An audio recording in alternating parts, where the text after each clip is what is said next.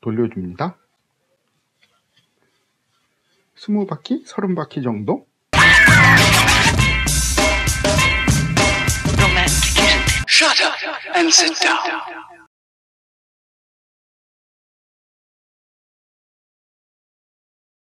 스피닝 릴을 사용을 하실 때 줄이 꼬이죠? 이건 피할 수 없습니다. 구조상. 그 꼬이는 원인하고 그 해소 방법 한번 알아보기로 하겠습니다. 안녕하세요. 조홍식입니다. 조 박사의 피싱 랩 시작하겠습니다. 스피닝 릴을 사용을 하시다 보면 낚싯줄의 진행 방향과 감기는 방향이 다르다 보니까 아, 결정적으로 어쩔 수 없이 구조상 어쩔 수 없이 에, 낚싯줄은 꼬입니다. 최신 릴들은 그나마 덜 꼬이지만 그래도 꼬여요. 꼬이면 음, 보세요. 이렇게 되죠. 어, 앞쪽에서 낚싯줄이 이렇게 꼬이는 거, 팁 쪽에서는 팁하고 같이 가이드랑 같이 꼬여버리는 게 아주 귀찮은 현상이 일어납니다. 꼬임이 잘 일어나는 경우라고 따지면 너무 작은 릴, 이거 쉽게 말씀드리면 스, 같은 릴이라도 스풀 구경이 작은 릴, 그게 잘 꼬이고요. 그런 스풀의 구경이 작은 릴에 좀 적당하지 않은 굵은 줄을 사용을 하시면 더 잘 꼬여요. 또 오, 회전하는 루어, 스푼이나 스피너나 날개가 달린 루어 아, 그런 거를 사용을 하거나 좀 아, 품질이 좋지 않은 루어를 사용하면 물속에서 빙글빙글 돌면서 낚시줄을 꼬기도 합니다. 에, 어느 방향으로 꼬이냐, 시계 방향으로 꼬이느냐, 반시계 방향으로 꼬이느냐는 원래 기전으로만 따지면 다 시계 방향으로만 꼬여야 정상이에요. 그렇게 꼬여요. 왜냐? 스풀이 이렇게 돌기 때문에 시계 방향으로 꼬입니다. 아, 근데 루어 때문에 꼬이는 경우는 시계 방향으로 꼬일지 반시계 방향으로 꼬일지 그거는 루어 회전 방향에 따라 달라지기 때문에 그건 그때그때 확인을 하셔야 돼요. 근데 루어 때문이 아니고 그냥 낚시하다 꼬이는 경우는 보시면 드랙이 풀리면 그 거리만큼 시계 방향으로 꼬임이 발생을 합니다. 드랙을 쭉쭉 차고 나가게 했다. 드랙을 차고 나가는 거리만큼 계속 꼬이고 있다라고 생각을 하시면 돼요.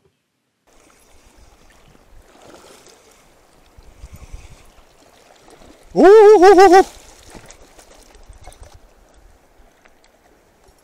와 히히히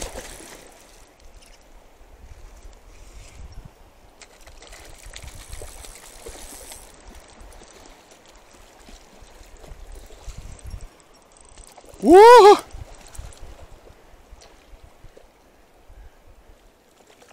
와, 이 지치지도 않아 미치겠다 이거. 아이고 힘들어 씨. 자, 이렇게 드랙을 많이 사용을 하셨을 경우에 에, 낚싯줄이 이제 꼬이게 되는데 그래서 이제 뭐 지금 한참 파이팅 중에는 줄 꼬임 신경 쓸 필요는 없죠. 열심히 파이팅을 해서 다 끌어옵니다. 다 끌어와서 물고기 뜰채에 담았다. 그리고 기념 촬영도 하시고 흥분을 좀 가라앉히신 다음에 바로 그냥 캐스팅을 하시면 안 돼요. 그러면 낚싯줄 전체에 다 꼬임이 번져나가니까 캐스팅 하시기 전에 이렇게 한번 나 들어보십시오. 좀 낚싯줄 이렇게 루어를 들어드려요. 그러면 조금 기다리시면 루어가 뱅글뱅글뱅글 돌기 시작할 거예요. 예, 꼬여 있는 반대방향으로 풀리느라고 루어가 돌고 있을 겁니다. 좀 방치를 하십시오. 그리고 이제 덜 돌 때 오히려 그 돌던 방향으로 더 좀 꽈주세요. 손으로. 한 스무 바퀴, 서른 바퀴 이렇게 뱅글뱅글뱅글 반대로 꼬여준, 꼬아준다라는 생각으로. 그리고 나서 캐스팅을 하시면 중화가 됩니다. 꼬였던 게 반대 방향으로 풀리면서. 자, 이게 굉장히 소극적인 방법이에요. 음, 이 기전이 어, 왜 이렇게 되느냐 한번 다시 확실히 좀 굵은 줄로 잠깐 보여드릴게요. 드래그로 차고 나간다. 그러면 요 라인 롤라서부터 이 바깥으로 나간 쪽은 꼬임이 발생을 하게 됩니다. 이렇게 꼬여 꼬여지는 거죠. 이 꼬임이 이 꼬여 이게 드랙을 사용을 했기 때문에 꼬여진 거예요. 이 꼬여진 이 라인 꼬임이 이걸 풀어주지를 않고 그냥 다시 캐스팅을 해버리면 이 안쪽으로 꼬임이 전부 전파가 돼버리죠. 그래서 한 30m 캐스팅했다. 그럼 30m가 다 꼬여 있는 상태가 돼버리는 거예요. 좀 아까 말씀드린 대로 어, 드랙을 많이 사용해서 어, 고기를 한 마리 잡, 낚았습니다. 그래서 저 기념 촬영도 하고 한숨 돌렸어요. 그 다음에 캐스팅을 하시기 전에 좀 루어를 느려뜨려 놓고 보면은 꼬였던 방향의 반대 방향 아마 반시방의 방향으로 좀 루어가 빙빙빙빙 좀 도울 겁니다. 가만 내비두시면 루어가 이제 돌다가 서요. 그래도 루어를 좀 잡고 그 돌던 방향으로 더 좀 이렇게 돌려서 반대로 좀 낚싯줄이 꼬이게 해주십시오. 20바퀴, 30바퀴 정도. 자, 그리고 캐스팅을 하면 완화가, 중화가 됩니다. 그랬는데 던지고 봤더니 어 아직도 줄이 이렇게 이렇게 코일상이 잘 안 풀어지고 이렇게 보통 늘어진 걸 보시면 여기서 이렇게 파도처럼 나가면 많이 음, 풀어진 거예요. 근데 이 그렇지가 않고 아 이렇다. 아 이거 아직 꼬임이 남아 있는 겁니다. 그렇다면 아니면 드랙 많이 사용해서 물고기 잡은 후에 기념 촬영하시고 아차 풀지 않고 그냥 캐스팅을 해버렸다. 그러면 캐스팅 거리만큼 줄이 다 이렇게 꼬여 있을 거예요. 그때는 어떻게 하느냐? 에, 이 줄이 이렇게 나가 있지 않습니까? 낚싯대를 줄하고 같이 이렇게 왼손으로 이쪽을 잡아 주시고요. 오른손으로 낚싯대 뒤를 잡아 주십시오. 그리고 낚싯대를 반시계 방향으로 그러니까 릴이 아래에서 바깥쪽으로 이렇게 돌게 이렇게 좀 돌려주세요. 릴 아래에서 릴, 릴 아래에 두고 릴이 바깥쪽으로 아래에서부터 위로 올라오게 낚싯줄과 같이 왼손으로는 잡고 오른손은 버트를 잡고 돌려줍니다. 20바퀴, 30바퀴 정도 물론 루어는 떠내려가거나 가라앉아 버리는 겁니다만 그 그거 신경 쓰지 마시고 일단 이렇게 20바퀴, 30바퀴 돌려주세요. 그리고 감습니다. 줄이 아마 대충 풀어졌을 거예요. 그리고 다시 한번 캐스팅을 해보시고 어, 아직도 꼬였다. 좀 꼬임이 남아있다. 그러면 또 이렇게 한번 20바퀴 정도 이렇게 돌려주십시오. 낚시를 하시면서 이렇게 각 계속 이렇게 해주시는 건 줄을 꼬임을 풀어주는 아주 좋은 방법입니다. 이렇게 하시면 낚싯줄의 수명도 늘고요. 꼬임 때문에 귀찮은 일 생기는 것도 좀 이렇게 예방이 됩니다. 다른 방법도 소개해 드릴게요. 낚시를 이제 오늘 하루 낚시를 하시고 어, 철수를 하기 전에 이걸 할 수 있는 방법이에요. 혹시 보트를 타고 낚시를 하고 있으시다면 아니면 wading을 하고 있다 그러면 아주 좋아요.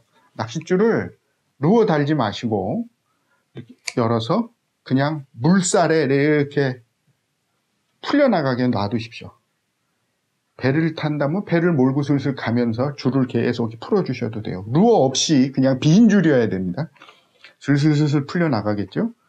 그렇게 된 다음에 닫으시고 낚싯줄을 잡으시고 천천히 감아주세요. 그러면 꼬였던 줄이 풀리면서 감깁니다. 이 방법을 한번 해주시는 거 참 좋아요. 철수 직전에.